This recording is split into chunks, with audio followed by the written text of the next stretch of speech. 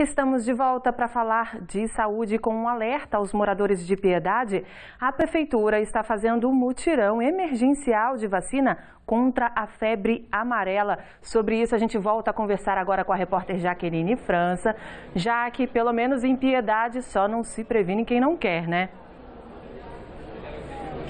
É isso mesmo, Jaia. E é muito importante se prevenir. A Prefeitura de Piedade tomou a decisão de fazer esse mutirão porque na sexta-feira foi confirmada a morte de dois macacos por causa da febre amarela ali na cidade. Então, eles querem imunizar toda a cidade, todos os moradores. Então é importante você que mora em Piedade procurar as unidades básicas de saúde. Olha só, esse mutirão começou hoje, é hoje e amanhã. Começou às nove da manhã e segue até às quatro da tarde. Tem um ambulatório médico odontológico municipal que fica na região central, ali na rua Antônio Leite de Oliveira, número 200, bem perto da rodoviária. Mas as unidades básicas de saúde, centros de saúde de vários bairros também estão aplicando a vacina do bairro dos Correias, também Miguel Russo, Sarapuí dos Luz, o Leites, Vila Moraes, Goldinhos e Bateia. Então é importante você, morador de Piedade, que procure uma dessas unidades básicas de saúde ou vá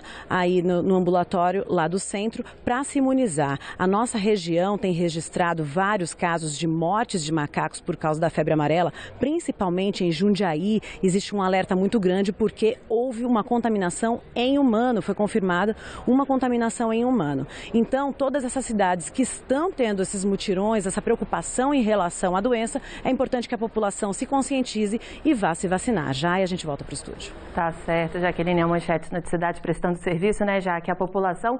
Muito obrigada mais uma vez e boa tarde para você.